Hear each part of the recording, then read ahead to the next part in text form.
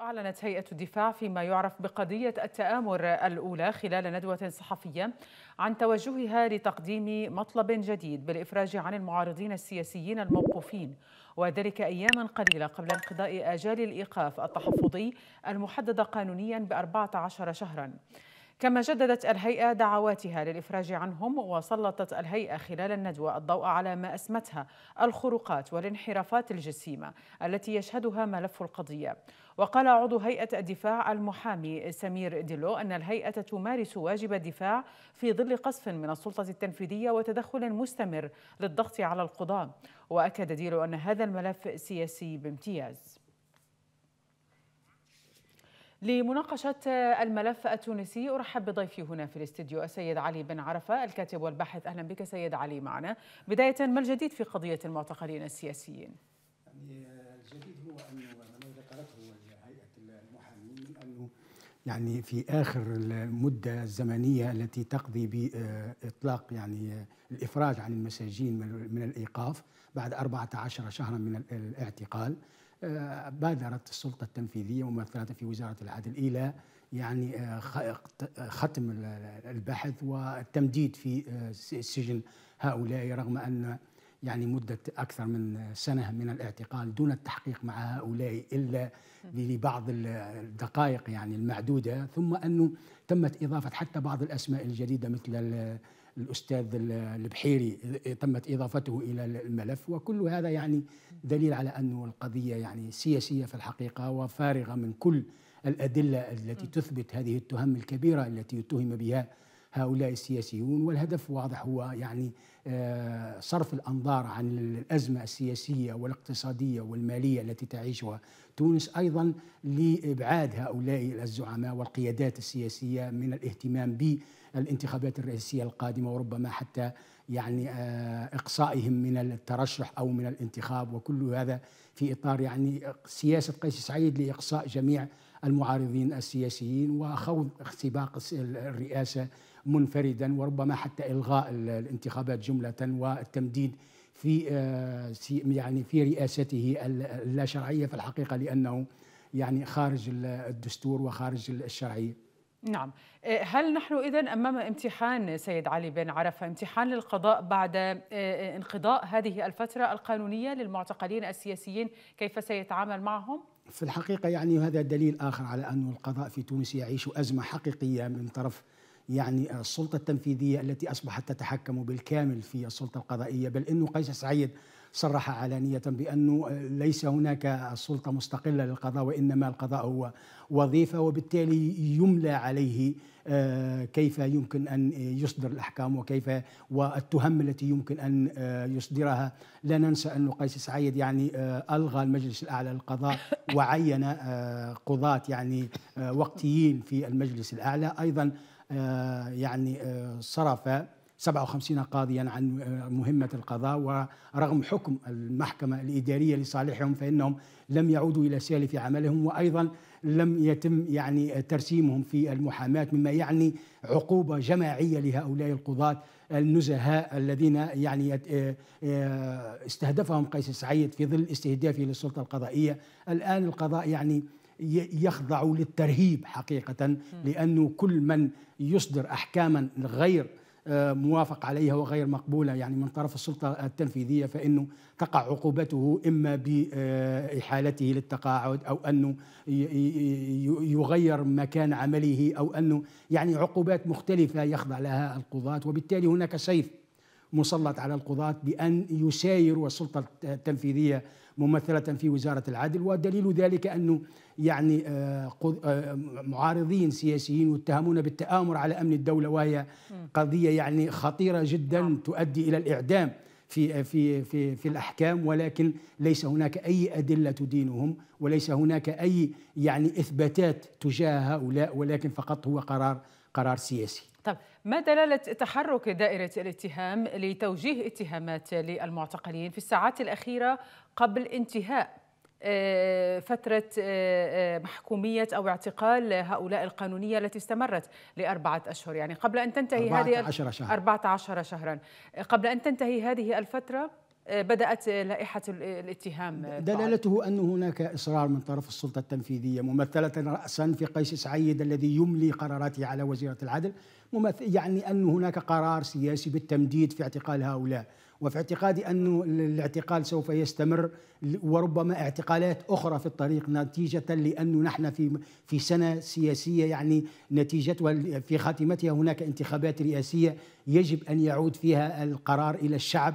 وقيس سعيد يخشى الاحتكام إلى الشعب في حضور زعامات سياسية وازنة من مثل هؤلاء الذين هم رهن الاعتقال ويتهمهم بالتآمر. الاتهامات بالتآمر الاتهامات بمحاولة اغتيال رئيس الجمهور اتهامات كبيرة ولكن الأدلة والإثباتات يعني واهية. يعتمد في هذا الاتهام بالتآمر يعتمد على يعني شهود نكرة. يعني ليس هناك أسماء تتهم هؤلاء وإنما يشار إليها باسم إكس أو يعني أسماء يعني إشارات ولكن ليس هناك أسماء لهذا يعني إخفاء الشهود إنما تم يعني في التنصيص عليه في البداية في القانون لأنه يعتمد على قانون نعم. الارهاب وحتى لا يقع استهداف هؤلاء الشهود من طرف الإرهابيين ولكن المتهمين اليوم هم زعامات سياسية ومحامين وأساتذة وبالتالي ليس هناك خشية على الشهود ولكن يعني تمضي السلطة التنفيذية في اعتماد شهادات يعني غير آه، معتمدة شهادات يعني ليست لأشخاص آه، معروفين ولكن هناك إصرار على سجن هؤلاء نعم. والتمديد في سجنهم لأهداف سياسية وأغراض سياسية. نعم، أرحب بضيفي السيد كريم مرزوقي عضو فريق الدفاع عن المعتقلين في ملف التأمر من تونس، أهلا بك سيد كريم مرزوقي معنا. هل نحن أمام امتحان للقضاء بعد انقضاء الأجال القانونية للمعتقلين 14 شهرا؟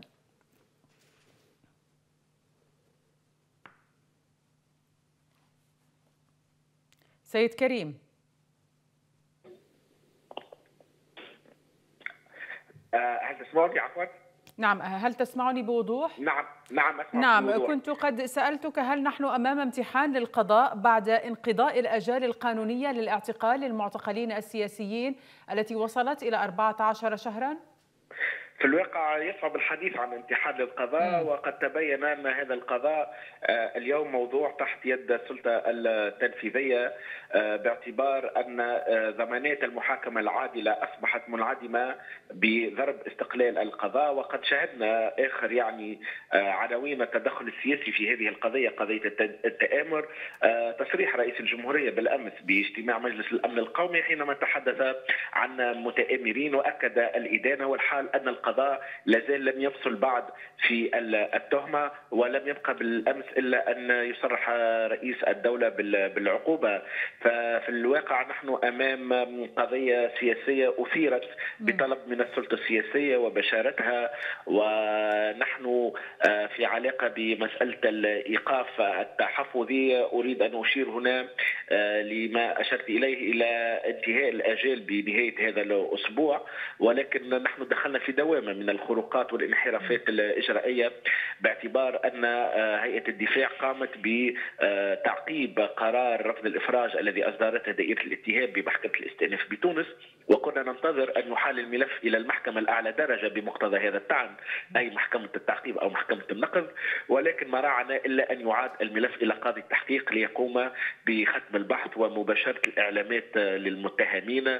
وهذا انحراف إجرائي جديد ونحن في هيئة الدفاع وما اكدناه اليوم في الندوه الصحفية التي عقدناها بدار المحامي.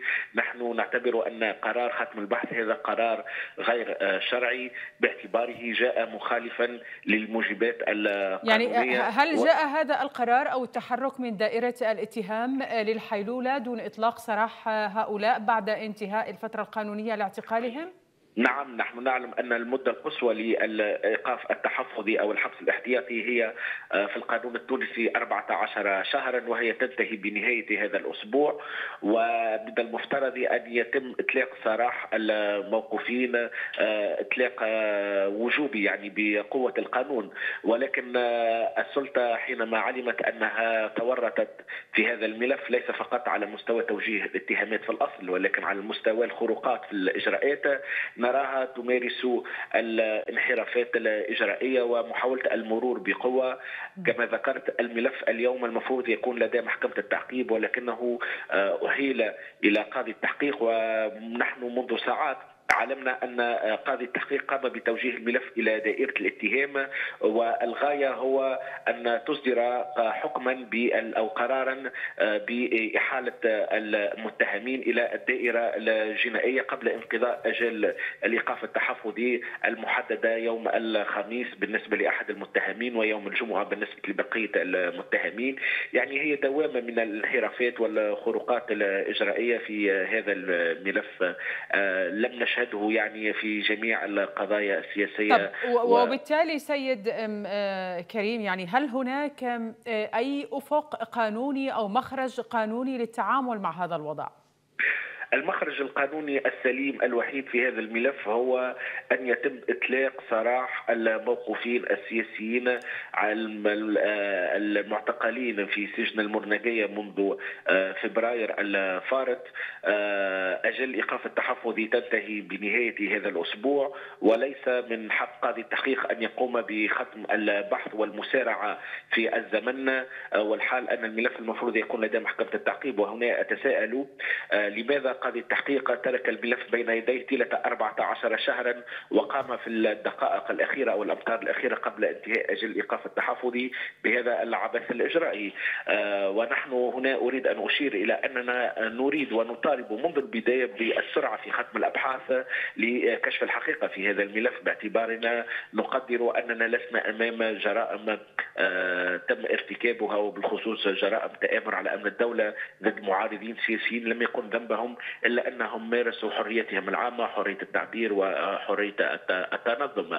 فنحن هذا قرار ختم البحث. نحن نطالب به ولكن نريد أن يصدر طبق القانون وليس في إطار من دوامة من الانحرافات الإجرائية وهي ليست مستجدة في الواقع في هذا الملف. أريد أن أشير إلى أنه سبق لمنسق هيئة الدفاع أن أعلم الرأي العام أننا قدمنا شكاية جزائية ضد وزيرة العدل بعد معاينة أوراق فيها تشطيبات وهو ما اعتبرناه من قبيل التدليس ولكن بدل قيام النيابة العمومية بفتح أبحاث في شكايتنا قامت بتتبع زميلنا الأستاذ عبد العزيز السيد.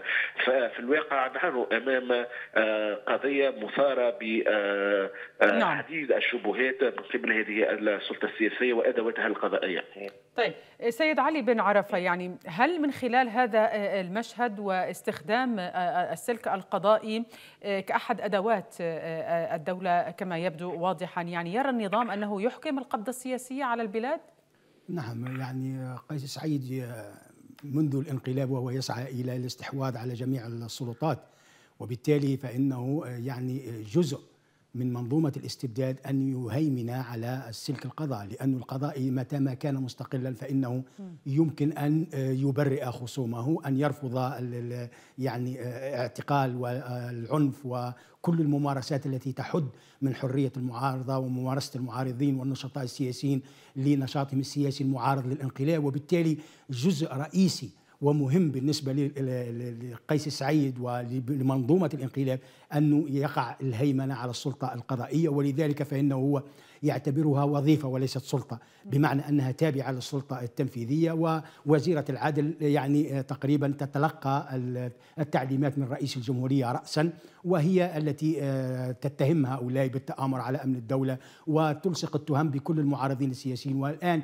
يكاد ينحصر الاعتقال في الرموز السياسية والقيادات السياسية الناشطة ضد الانقلاب. وبالتالي واضح وجلي أن هناك استهداف لكل القيادات السياسية التي تعارض الانقلاب والتي ربما تسعى إلى توحيد جهود المعارضة من أجل الخروج من الأزمة السياسية التي تمر بها تونس وهذا ما يرفضه قيس سعيد وبالتالي فإنه يستغل نفوذه وسلطته في الهيمنة على السلطة القضائية بل إنه تقريبا لم يبقى له إلا أن يصدر الأحكام لأنه هو الذي يصدر التهم ضد هؤلاء وأيضا يهدد القضاة بأنه من يبرئ هؤلاء فإنه متورط معهم وبالتالي فإنه يهدد القضاة من خلال الممارسه بحيث وقع الاستغناء عن المجلس الأعلى للقضاء طرد القضاة من مهامهم منعهم من ممارسة مهامهم أيضا منعهم من العودة إلى نشاطهم والآن هو يهدد القضاة بأنه من يبرئ هؤلاء فهو متورط معهم. طيب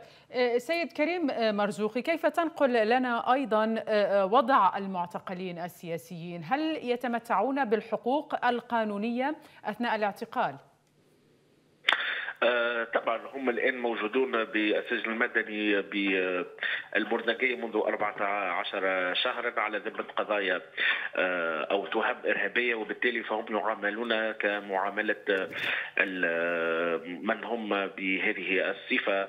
ونحن سابقا مثلا كنا قد أشرنا إلى آه، وضعية نقلهم باعتبار أن سيارة النقل التي يتم استعمالها لنقلهم إلى المستشفى حالة الضرورة أو إلى المحكمة آه، هي لا تراعي أدنى معايير الإنسانية للتنقل وهذا ما كانت قد احتجت عليه هيئة الدفاع في وقت سابق. آه، فهذه النقطة الأساسية. طبعا عدا مسألة وجود كاميرات مراقبة ونحن ما احتججنا عليها آه، قبل أشهر باعتبار ذلك اعتداء على الحياة الخاصة للمعتقلين.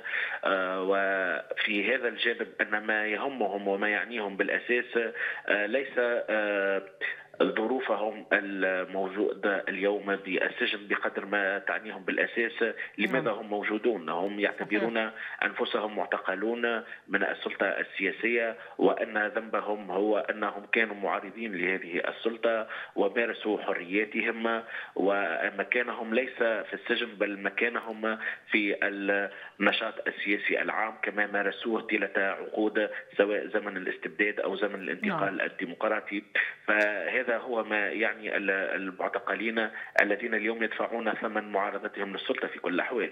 شكرا جزيلا لك سيد كريم مرزوقي عضو فريق الدفاع عن المعتقلين في ملف التآمر من تونس على هذه المشاركة. هل تتفق مع القول سيد علي بن عرفة أن البلاد بدأت تدخل مرحلة الزمن الانتخابي؟ نعم يعني بدأت تدخل من خلال أصلا ممارسات رئيس الجمهورية الذي يقوم بحملات انتخابية الآن منفردا يعني. وأيضا من خلال المحاولات عرقلة وإقصاء كل المترشح الذين يعني هناك إمكانية لترشحهم للانتخابات القادمة وهي يستهدفهم. حتى من أعلن عن كل من أعلن عن آه، تقريبا عن نية في الترشح تم إلصاق التهم به وهو محل آه، التحقيق. وكل الذين هم مرشحون نظرا لأدائهم السياسي ونظرا لأنهم شخصيات وازنة في البلاد.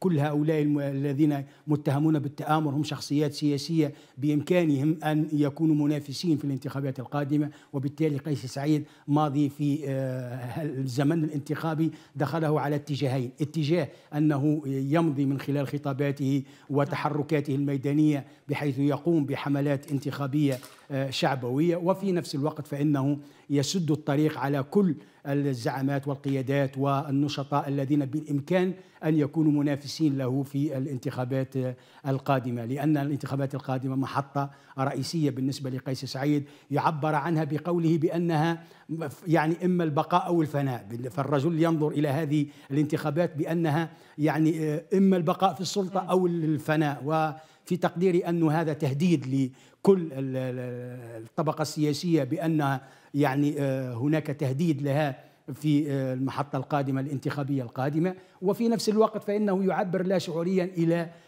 مأزقه الرئيسي بأنه في الانتخابات القادمة إذا لم يبقى فإنه يعني مآله الفناء تاريخيا سوف لن يذكر إلا ك يعني حادث سير تاريخي تعرضت له تونس وليس له من الإنجازات ما يمكن أن يذكر في التاريخ. طب هل برأيك يمكن أن نشهد حالة من الانفراج تمهيدا لإجراء الانتخابات الرئاسية آه، في أجواء مناسبة؟